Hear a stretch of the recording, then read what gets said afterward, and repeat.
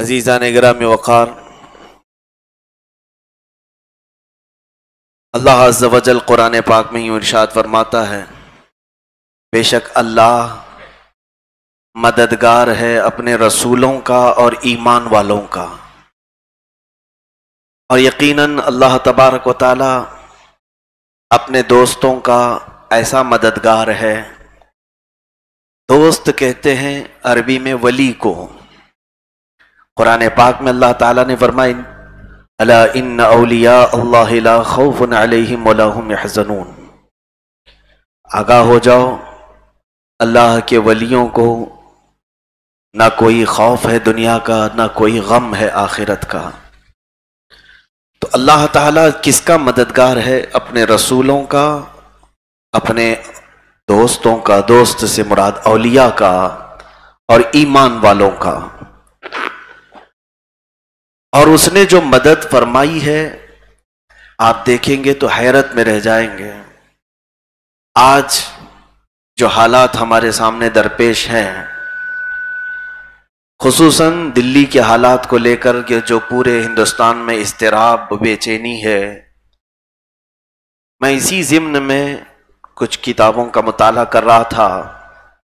तो सीधे सीरत सैदना गरीब नवाज़ रदी अल्लाह तु पर जाकर हमारी नज़रें टिक गई। सुल्तान हिंद, कुतबुल मशाइ सैदना मोइनुद्दीन हसन चिश्ती गरीब नवाज़ रदी अल्लाह तु की बारगाह में। कुछ ऐसी चीज़ें हैं जो आज के हालात से बिल्कुल मुआफिक नज़र आती हैं। हमने सरकार गरीब नवाज़ को यूँ तो पढ़ा है कि ख्वाजा हिंद वो दरबार है आला तेरा, कभी महरूम नहीं मांगने वाला तेरा। ये तमाम चीज़ें तो हम जानते हैं कि वह अताओं में गरीब नवाज़ हैं, वो बेमिसल बेमिसाल हैं। लेकिन हिंदुस्तान जिस वक्त आप तशरीफ़ लाए थे तो उस वक्त के क्या हालात थे? और आपका आना किस शान से हुआ था? ये दो चीज़ें बहुत ही काबिल गौर हैं। हु बहु यही हालात हमें नज़र आते हैं। अजीजा ने गिरामी, सरकार गरीब नवाज़ रदी अल्लाह तु आए नहीं, भेजे गए थे। आपका इलाका संजर, जहाँ आपकी विलादत हुई, उसके बाद आपकी जहाँ परवरिश हुई, सिस्तान, जिसको सजिस्तान भी कहा जाता है, वो ईरान का एक इलाका है। फिर आपका समरकंद, बुखारा और निशापुर में तालीम हासिल करना, मुराकबे करना, फिर ख्वाजा उस्मान हारूनी रदी अल्लाह तु से बैत करना, ये बचपन के हालात हैं आपके। फिर जब आप अपने पीरो मुर्शिद के साथ मदीन तयबा की हाजिरी पर गए, ये दूसरी हाजिरी थी। पहले अपने पीरो मुर्शिद के साथ खाने काबा का तवाफ कर रहे थे। खाने काबा का तवाफ करने के दौरान आपके पीरो मुर्शिद ने उनका हाथ पकड़ा और हतीम काबा के पास ला करके यूँ कहा, ए अल्लाह, मेरे इस मोइन को तो अपनी बारगाह में कबूल फरमा ले। गैब से निदा आई कि उसको हमने अपने वलियों में कबूल कर लिया है। पीरो मुर्शिद ने मुबारकबादी दी और उसके बाद मदीने तयबा की जब हाजिरी के लिए आप तशरीफ़ लाए तो अपने पीरो मुर्शिद के साथ ही रोज़ अकदस पर हाजिरी दी। ख्वाज आज़म सलकार गरीब नवाज़ रदी अल्लाह तु ने अपने जद अमजद रसूल करीम सल्लल्लाहु अलैहि वसल्लम को सलाम पेश किया। असलात या रसूल अल्लाह सल्लल्लाहु अलैहि वसल्लम। खबर अनवर से जवाब आया वालेकम या कुतबल मशाइ तुझ पर भी सलामती हो ए शेखों के कुतुब अलिया के कुतुब। आपके पीर मुर्शिद ने मुस्कुराया और फरमाया कि एक ही सलाम में तुझे सरकार दो आलम सल्लल्लाहु अलैहि वसल्लम ने मशाइक की कुतबियत अता फरमा दी इतना ही नहीं मेरे अजीज़ों, मैं ये हालात इसलिए बता रहा हूँ कि आप मदीन तयबा में मुस्तकिल रहने के लिए गए थे। कौन ऐसा आशिक है जो मदीने में रहना नहीं चाहता? मेरे आका सल्लल्लाहु अलैहि वसल्लम के दरबार में वह हमेशा रहने की गरज से गए थे। ख्वाब में मेरे आका सल्लल्लाहु अलैहि वसल्लम तशरीफ़ लाए और कहा मोइनुद्दीन, तुम हिंदुस्तान जाओ। मेरे दीन की इशात के लिए, मेरे दीन की तबलीग के लिए तुम हिंदुस्तान जाओ। सरकार गरीब नवाज़ रदी अल्लाह तु ने अपने आका आका मौला सल्लल्लाहु अलैहि वसल्लम की बारगाह में अर्ज़ किया, हिंदुस्तान का रास्ता पुरखतर है, वहाँ का माहौल साजगार नहीं, और मेरी देखी हुई ज़मीन नहीं है। अल्लाह के हबीब सल्लल्लाहु अलैहि वसल्लम ने उनको हिंदुस्तान का पूरा नक्शा ख्वाब में अता फरमाया, रास्ता भी बताया और उसके बाद यूँ इरशाद फरमाया, मोइनुद्दीन, तेरा काम है चलना, रास्ते खोलना, वो अल्लाह का काम है। हालात का साजगार होना, हालात का मुआफिक होना यह हमारे बस में हो तो हम जहाँ चाहे वहाँ के हालात सही करते चले जाएँ। हालात का सही होना, ना होना यह रब्बे जुल जलाल के जिम्मे करम पर है। आपका काम है। वरना अल्लाह तबारक ताला अपने नबियों को जहाँ पर भी भेजा है, तकरीबन आप देखें, मुशाहिदा करके, ऐसी ही हालात हैं जो उनके लिए मुआफिक नहीं रहे। जहाँ उनके मुखालिफिन थे, वहीं अंबिया कराम को भेजा गया है। और पत्थरेली जमीनों में, संगलाख वादियों में नबियों को भेजा गया। ढीठ किस्म के लोगों के दरमियान उन्हें रखा गया। अल्लाह के अंबिया कराम सलाम इन वादियों में थे, लेकिन अल्लाह उनका मददगार था। कोई गजन उन्हें पहुँचने नहीं दिया, और अपने दीन का हामी व नासिर व मददगार वही है। सरकार गरीब नवाज़ रब्बा तु आप रोने लगे, आँसू आ गए कि मुझे मदीने से वहाँ जाने का हुक्म दिया जा रहा है। मदीना छूट जाएगा। अल्लाह अकबर, मेरे आका सल्लल्लाहु अलैहि वसल्लम की बशारत हुई, मोइनुद्दीन, तुम जहाँ रहोगे, मेरे दीन का काम करो जब तुम्हें हमारी याद आए, आँख बंद कर लो, मेरी जियारत हो जाएगी इससे बढ़ करके मेरे आका सल्लल्लाहु अलैहि वसल्लम का इनाम क्या था?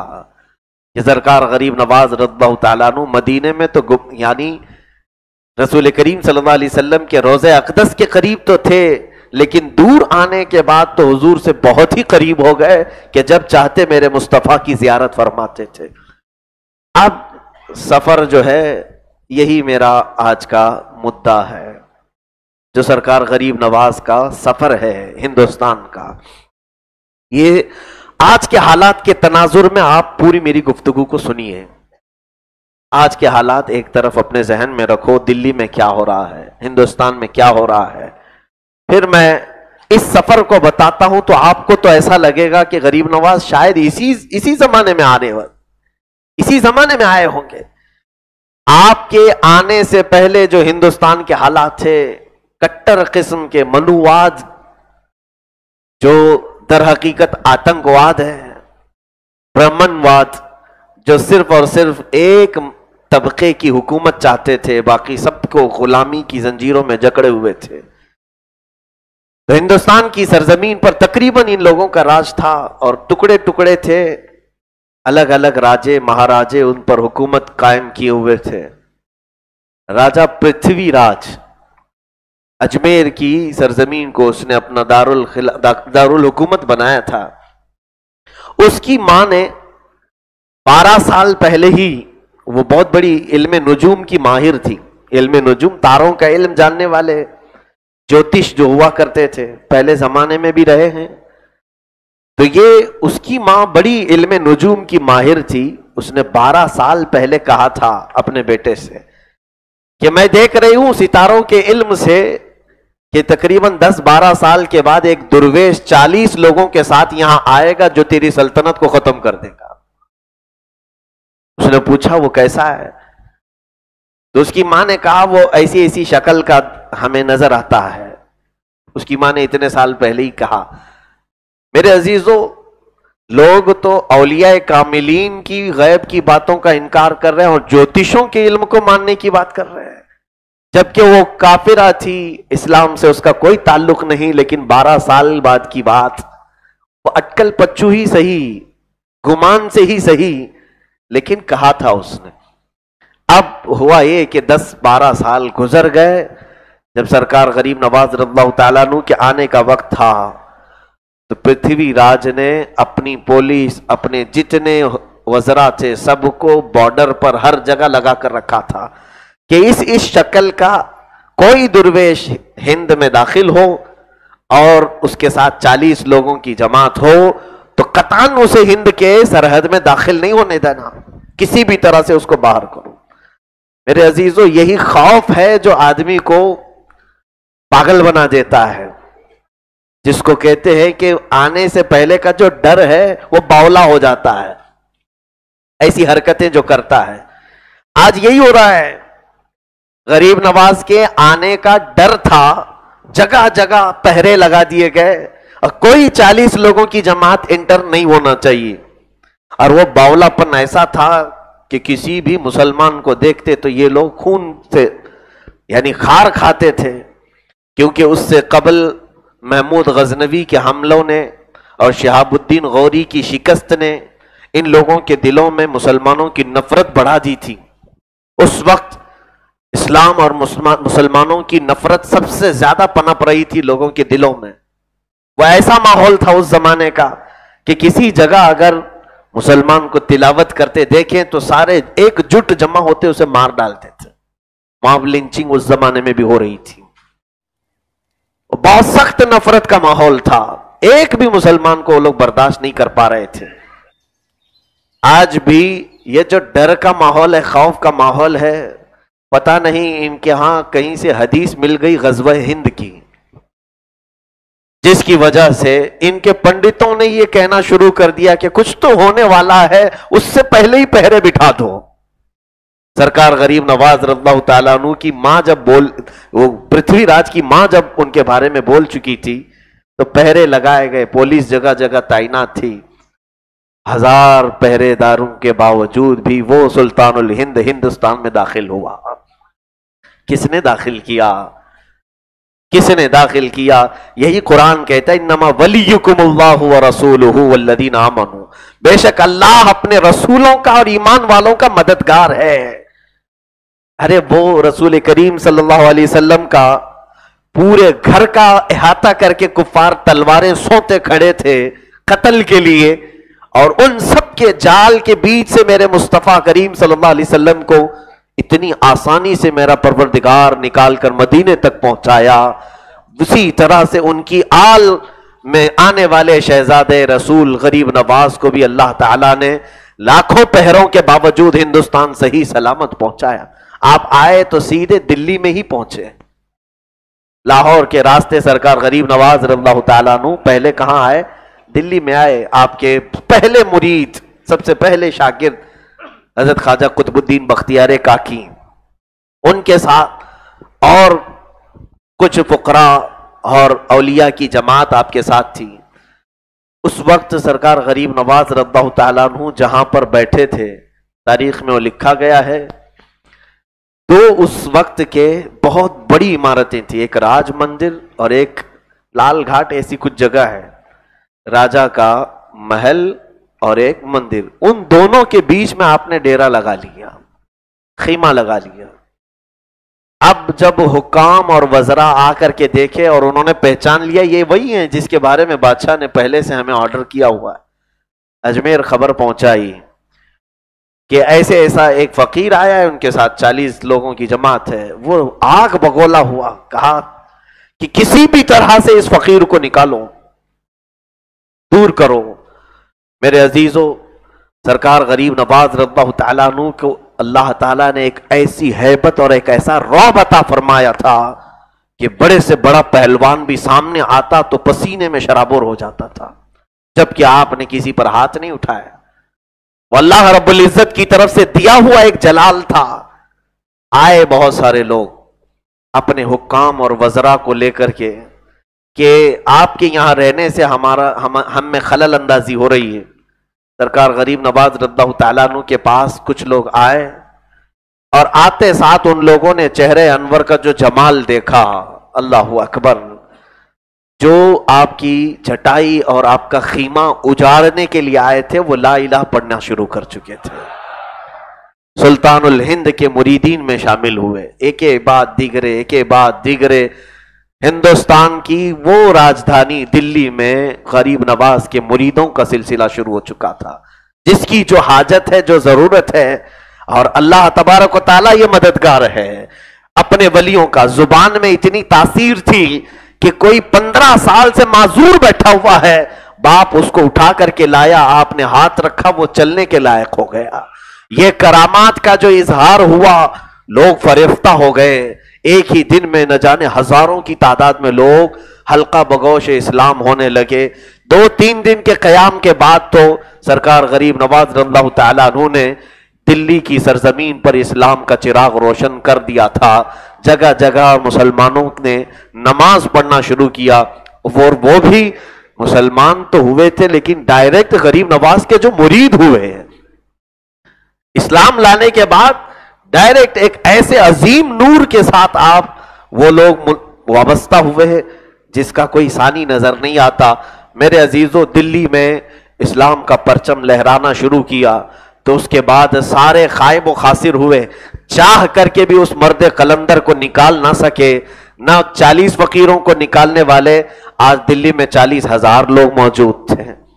सुल्तान हिंद गरीब नवाज़ रल्ला जब वहाँ से निकलने लगे तो ख्वाजा कुतुबुद्दीन बख्तियार काकी को अपना जानशीन मुकर्र किया और उन सब की तरबियत के लिए उन्हें अपना खलीफा मुकर्र करके इरशाद फरमाया, मेरी ये ज़मीन नहीं है मुझे मेरे आका सल्लल्लाहु अलैहि वसल्लम ने जो ज़मीन बताई और और आगे है। तो और आगे कहाँ का सफ़र है? तो सरकार गरीब नवाज़ ने फला फला इलाका बताया तो लोगों ने कहा, इसको तो अजमेर कहते हैं।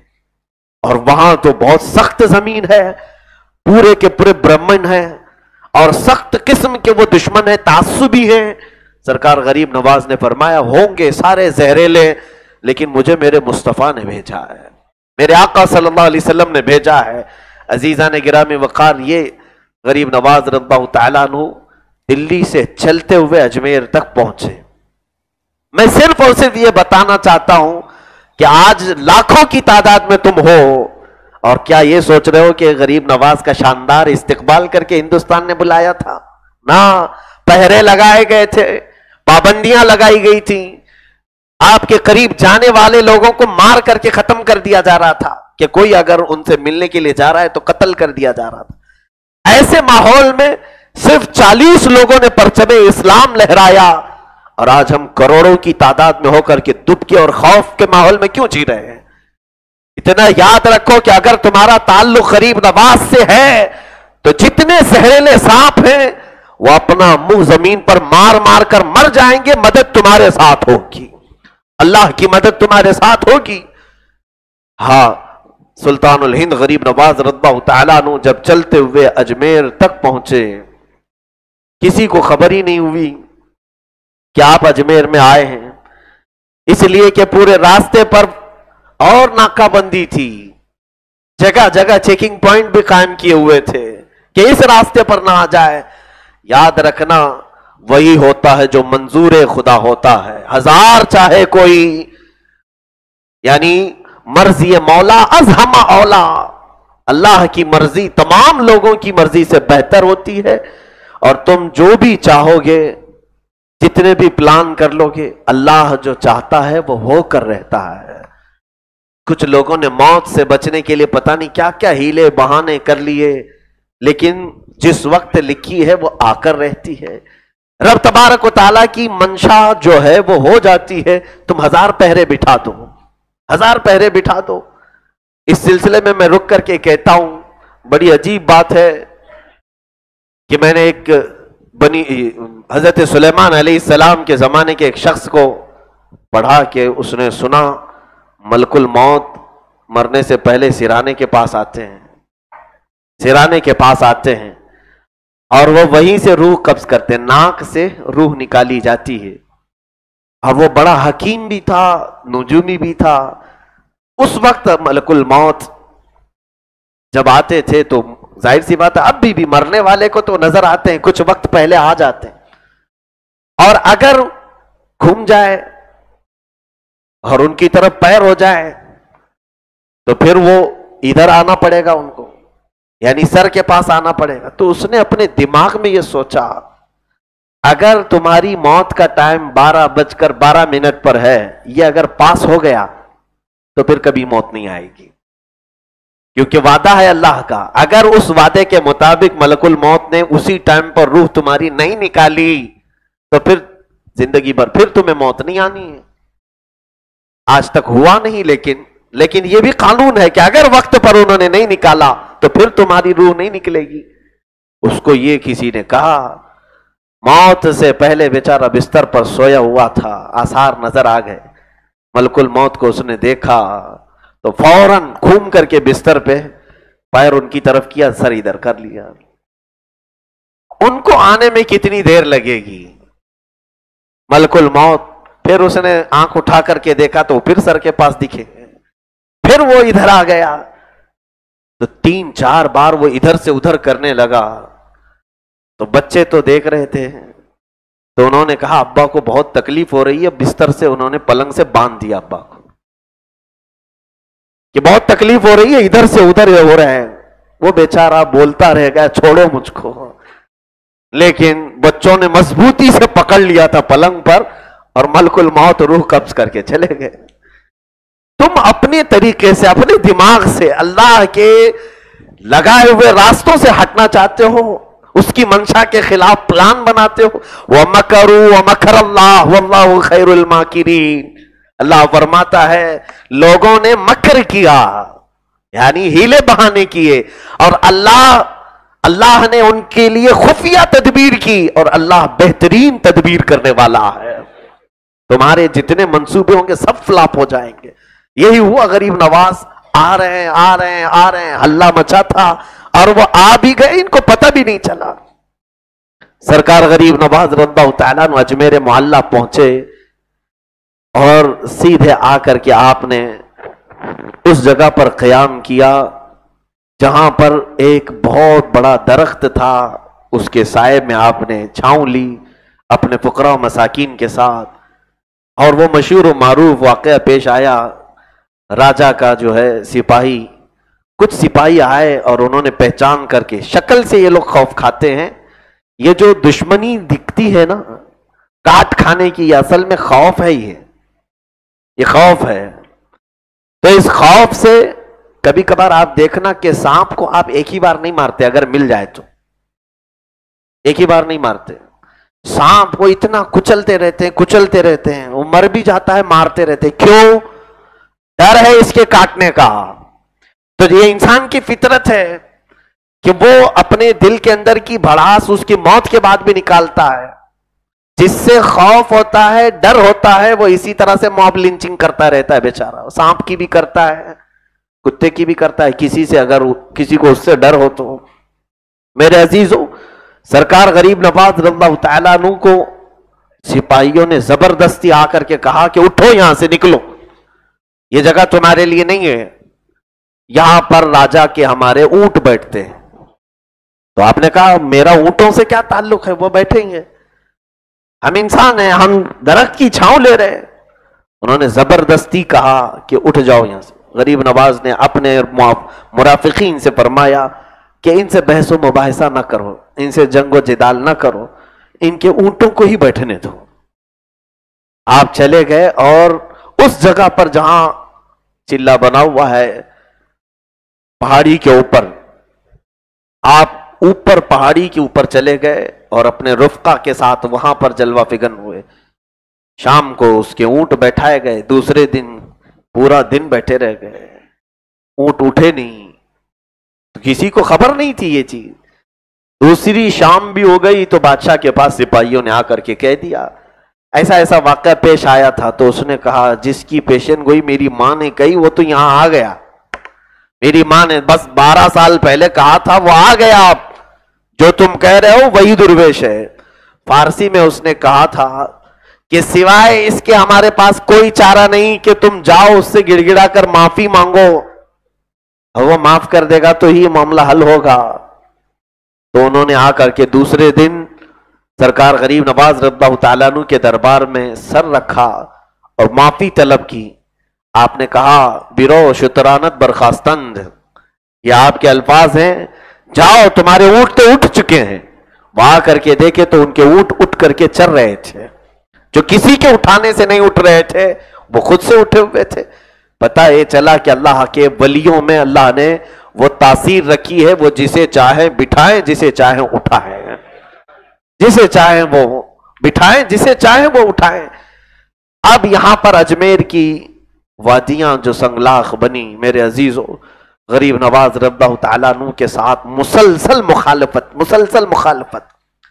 इतनी मुखालफत हुई है, आज तो तुम सिर्फ़ करामतों को सुने हो, और सिर्फ़ छठी शरीफ में जा करके, या सरकार गरीब नवाज़ के आली शान मकबरे को देख करके, आप ये सोचते होंगे कि हम एक बादशाह के यहाँ आए हैं लेकिन वो बादशाह ने अपनी ज़िंदगी पाक में जो मसायब और आलाम का सामना किया है, उसे भी पढ़ करके देखो। ये हम सब के सुकून के लिए उन्होंने तमाम मुसीबतें अपनाई थी। आपके साथ जो जो मामला हुए, वो तो हम बर्दाश्त भी नहीं कर पाएँगे। सुल्तान हिंद गरीब नवाज़ तु के साथ जो हरबे अपनाए गए, जादूगरों को ला करके मुकाबला करवाया गया। आग के गोले फेंके गए, पत्थर गिराए गए। और एक बार तो ऐसा हुआ कि आना सागर के करीब, वहाँ पर भी एक मंदिर ऐसा था, जिसमें किसी भी कम जात के आदमी को दाखिल होने की इजाज़त नहीं थी, सिर्फ़ राजे, महाराजे और पुलिस जा सकती थी। और उसके करीब सरकार गरीब नवाज़ अपनी इबादत में मसरूफ हो गए और उनको बिल्कुल एक आँख ना भाती। वो अपने राजाओं से आकर के शिकायत करने लगे कि मुसलमान हमारी मंदिरों को नजिस कर रहे हैं, इनको दूर करें। सरकार गरीब नवाज़ रब्बा को वहाँ से भी उठाया गया। आपको उस वक्त तो वो कत्ल करने के लिए आ गए थे, बड़े बड़े नेजे और तलवारें लेकर। उस वक्त वही वाक्य पेश आया, जो रसूल करीम सल्लल्लाहु ने हिजरत के मौके पर फरमाया, आपका मुसल्ला है, आपके इर्द गिर्द जो शागिर्द हैं वो बैठे हैं। एक बड़ी फौज जब आपके सामने आई, आपने ज़मीन से मिट्टी उठाई, आयतल कुर्सी पढ़ करके उनकी तरफ़ फेंका ये मिट्टी के कंकरियाँ जहाँ जहाँ गिरी, बल्कि वो जितने आए थे, सबके किसी के कान सुन हो गए, किसी के जिस्म में लर्जा तारी हुआ, कोई फालिज जदा हो गया। अलग अलग किस्म के इन तमाम मुसीबतों में वो जकड़ गए। ये खौफनाक चीज़ देख करके वो सारे मबूत हो गए और पीछे हट गए। अल्लाह के वलियों को जिसने छोड़ा, छेड़ा, अल्लाह ने फरमाया, मन आदाली वलियन फकत आदन बिल अल्लाह फरमाता है जिसने मेरे किसी वली से दुश्मनी की, गोया कि उसने मेरे साथ जंग का ऐलान किया है। बल्कि अल्लाह फरमाता मैं उसके साथ जंग का ऐलान करता हूँ। है कोई अल्लाह के साथ जंग कर सकता है? तो जिन लोगों ने अल्लाह के वलियों को छेड़ा, गोया कि उन्होंने रब तबारक ताला के जलाल को पुकारा है, अब फिर अल्लाह ही उनके लिए बेहतरीन मुंतकिम होता है, इंतकाम लेता है। अजीजा ने गिरामी वहाँ पर पहुँचने के बाद आपको वहाँ से उठाया गया, पहाड़ के ऊपर से उठाया गया कौन सी जगह है जहाँ इस्तकबाल करके बिठाया गया हो? मकर फरेब भी किया गया, दजल फरेब किया गया, धोखा, धोखे दिए गए। क्या क्या चीज़ें हुई हत्ता के? ये सारे हरबे तो एक जगह, पत्थरों की बारिश की गई ऊपर से, और आग फेंका एक यानी जादूगर ने। सरकार गरीब नवाज़ रद्दा की ज़िंदगी पाक में अजयपाल जोगी का नाम सुना होगा आपने। मशहूर जादूगर उस वक्त का, उसे बुला करके पृथ्वीराज ने मुकाबले के लिए कहा था, सरकार गरीब नवाज़ रद्दा तालानू के पास उसने एक रुई का फाहा फेंका तो आग बन करके आपकी तरफ़ आया। ये शौबदाबाजी नजरबंदी हो सकती, हकीकत नहीं। जो जितने चमत्कार आपको दिखाते हुए जादू ये सब नज़र का धोखा होता है, हकीकत में नहीं। अरे यूँ जेब में से निकाला, कबूतर बना दिया, इधर पानी डाल करके फूल फेंक दिया, ये तमाम चीज़ें नज़र का धोखा है। हकीकत नहीं बदलती इससे, लेकिन करामत जो है, वो नज़र का धोखा नहीं, हकीकत बदलती है। करामत और मोजा अलग चीज़ है। उसने आग फेंका, सारे लोग डर करके भाग गए। गरीब नवाज़ ईमान वाले थे, उन्हें मालूम था कि ये जादू है, आग नहीं है ये। नजरबंदी आपने सिर्फ़ हाथ से रोका, कुछ नहीं हुआ आपको, कुछ नहीं हुआ। उसके बाद वो बेचारा शर्मिंदा हुआ बड़े बड़े लोगों के सामने उसकी इज़्ज़त खराब हो रही है, जादू चल नहीं पा रहा है। वो आसमान में उड़ करके दिखाया, अब ये भी आप समझ करके चले कि करामत किसे कहते हैं और जादू किसे कहते हैं? ऐसी किसी लल्लू पंचू पीर के पीछे न पड़ जाना कि ये बहुत पहुँचे हुए हज़रत हैं, अरे क्या क्या दिखाते हैं? अरे, जेब में से निकाल कर सोने का सिक्का दिखा देते हैं। कुछ बाबाओं के पीछे इसीलिए हमारी कौम पड़ी हुई है कि खजाना निकाल करके दे देंगे। खजाना निकालने वालों के पीछे तो एक जमात है। बेचारे उनके पीछे पैसे भी खर्चा करते हैं। हमारे इलाके में भी आए थे, कई बाबा आए थे। खजाने निकालने के लिए मैं हज़ार मना करता हूँ कि ज़मीन के खजाने निकालने वाला बाबा तुम तुम्हारे पास क्यों आया? वो खुद क्यों नहीं निकाल लेता है? खुद निकाल करके बड़ा महल बना लेता। वो तुमसे कहता है, पच्चीस पच्चीस हज़ार रुपए जमा करो, मैं निकालूँगा। ये तमाम चीज़ें हमारे यहाँ मैार नहीं। हत्या कि मैं कह रहा हूँ, अगर तुम्हें कोई पानी पर चल के दिखाए तो भी वली मत समझना। हवा में उड़ के दिखाए, तब भी वली मत समझना। ये करामात नहीं। सबसे बड़ी करामत कुछ हो सकती है तो मेरे आका की सुन्नत पर अमल करके दिखाना। पूरी ज़िंदगी भर शरीयत से हटा नहीं है, ये सबसे बड़ी करामत है। बाकी वो तमाम चीज़ें, वो छोटी करामात हैं। हुजूर पाक की ज़िंदगी पर अमल करके दिखाना ये बड़ी करामत है। गरीब नवाज़ के पास वो उड़ करके दिखा रहा था आसमान पर। आपने अपनी जूतियाँ निकाली और कहा, तुम उसे नीचे ले आओ। और गरीब नवाज़ रद्दा तला लकड़ी की जूतियाँ पहनते थे, खड़ाऊ जिसको कहते हैं चप्पलें। वो उड़ी और सर पर तड़ातड़ मारती हुई नीचे ले आए। हवा में उड़ने वाले यूँ न इतराए। हमारे पीर मुर्शिद ने फरमाया है कि बहुत ऊपर उड़ने वाले बहुत ना इतराओ। अज़ीज़, बहुत उड़ने वाले उनको गरीब नवाज़ उड़ करके नीचे नहीं लाएँगे, उनकी जूतियाँ नीचे लेके आ जाएँगे ये करामत, ये तमाम चीज़ें हुई, लेकिन सबसे ज़्यादा खतरनाक किस्म की जो उन्होंने शरारत अपनाई वो ये है कि बड़ी हसीन और जमील एक लड़की को आपके पीछे लगाया। इसमें तो बहुत सारे लोग हार जाएँगे। इसलिए कि इंसान के अंदर शहवत है, नफ्स है, ख्वाहिशात है।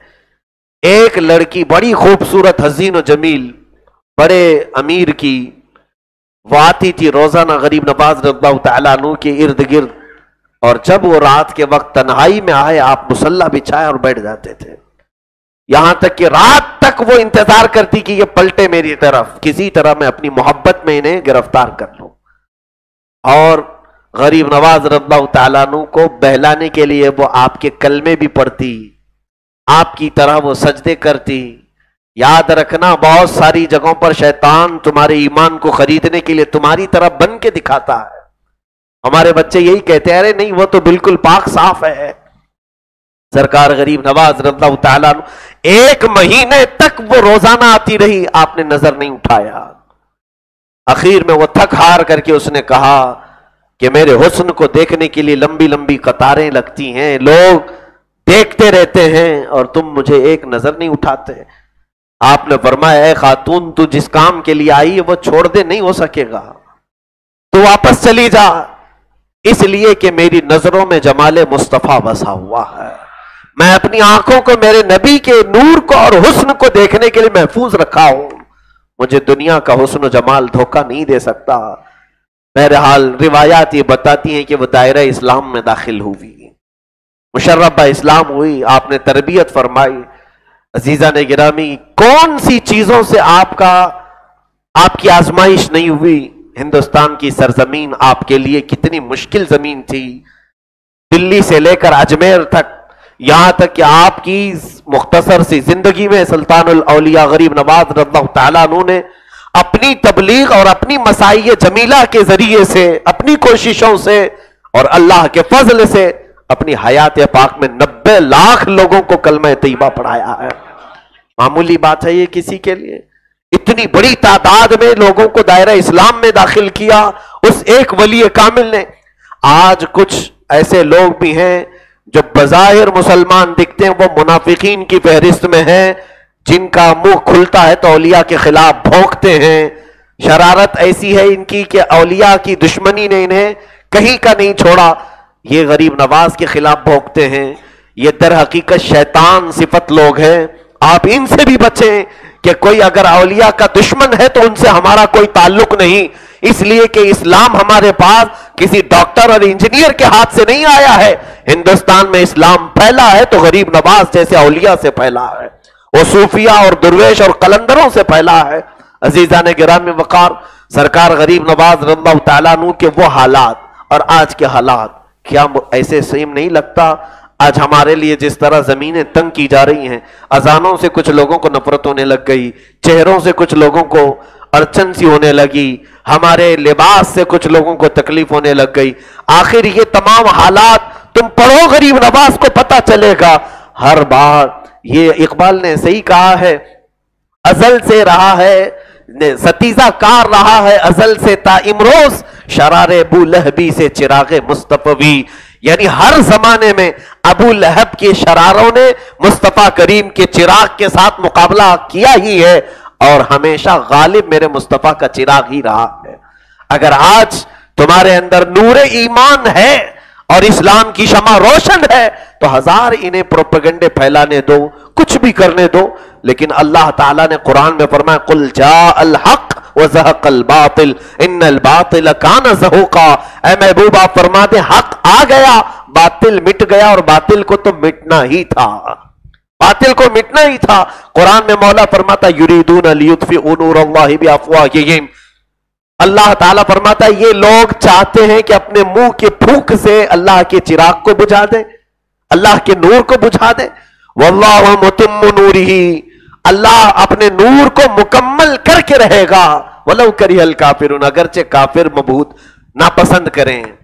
ये अल्लाह का चिराग है इस्लाम। ये कुरान पाक अल्लाह का चिराग है, इसे नहीं बुझाया जा सकेगा। कोशिश करने वाले करते रहे और अब भी कर रहे हैं। आप खौफ ना खाएँ। अब सिर्फ़ और सिर्फ़ अखीर में मैं इतना मैसेज देना चाहूँगा, इन हालात में जो आज भी इस तरह हमें मसायब और आलाम का सामना करना पड़ रहा है, घबराएँ नहीं। अपनी टूटी हुई नस्बतों को कामिल बना लो। सरकार गरीब नवाज़ रद्दा तु से निस्बत सुल्तान और सैदुलौलिया शहीन शाह विलायत सरकार बगदाद, गौसल आज़म, दस्तगीर, रद्दा इन जैसे अलिया से अपनी नस्बत कामिल करो। नस्बत का मतलब क्या समझते हैं आप? चादर पकड़ लेने से नस्बत हो जाएगी। क्या हाथ रख देने से नस्बत हो जाएगी। सबसे बेहतरीन नस्बत कहते हैं, उन्होंने जो कुछ भी फरमाया है, उस पर अमल कर ले जाना यह सबसे बेहतरीन नस्बत है। गरीब नवाज़ रब्बा के जो फरामीन है, अगर उन पर कोई अमल करता है तो सच्चे मानों में चिश्ती है। वो चिश्ती सिलसिले में। गौस पाक रब्बा के फरामीन पर कोई अमल करता है तो वह कादरी है। बाकी सिर्फ़ हाथ रख लेने से और बोल लेने से निस्बतें नहीं होती। अब निस्बत का जो बड़ा फ़ायदा है वो आपको मैं बताऊँ। अल्लाह अकबर। सरकार गरीब नवाज़ रब्ला से अगर तुम वाबस्ता हो गए तो उसका इजहार मैं आपको बताऊँ, एक बार ऐसा भी हुआ कि आप अजमेर मोहल्ला अपने चंद रुफका के साथ चल रहे आग जलाए हुए कुछ पुजारी हवन कर रहे थे। हवन होता है ना, आग की पूजा करते हैं। और बरसों से उस आग की पूजा में बैठे हुए पुजारी थे। गरीब नवाज़ रब्ला तालानू का वहाँ से गुजर हुआ तो उन्होंने छेड़खानी की। इनकी आदत है छेड़ने की। खाम खा इस तरह से जुमले कसने लगे, आप रुक गए। और आपने उनको भी कहा कि इस आग की पूजा छोड़ दो, जिसने आग बनाई है, उसकी इबादत करो। उन लोगों ने कहा, नहीं, यह हमारा महबूद है। आग जैसी, अग्नि जैसी शक्ति किसी के अंदर नहीं हो सकती। यह बहुत ताकतवर खुदा है हमारा। हम इसके लिए बरसों से यहाँ पर इबादत में है। सरकार गरीब नवाज़ रद्बा तु ने रुक करके जो मुनाजरा फरमाया, वो छोटा सा मुनाजरा है। फरमाया अच्छा ठीक है, ये तुम्हारा खुदा है। तुम इससे इबादत करते हो। कहा हाँ हाँ। तो होना ये चाहिए कि जब तुम खुदा की इबादत कर रहे हो तो खुदा भी तुमसे मोहब्बत कर रहा हो। हम तो यही अकीदा रखते हैं, हमारा मौला हमसे मोहब्बत फरमाता है। सत्तर माओ से ज़्यादा मोहब्बत फरमाता है। तो कहा, अगर ये आग तुम्हारा खुदा है तो जरा इसमें हाथ डालो हाथ डालो क्योंकि तुम्हारा खुदा तुमको नहीं जलाना चाहिए। तो उन लोगों ने कहा कि ऐसा थोड़ी ना होता है। वो आग है आग जलाएगी। कहा, फिर क्यों उसकी इबादत कर रहे हो जो जलाएगी? ये मुनाजरा है सरकार, गरीब नवाज़ का। अकल वालो, अकल से काम लो।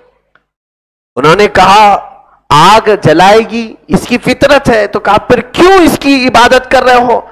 जो तुमको भी नहीं बख्श रही है, छोड़ नहीं रही है।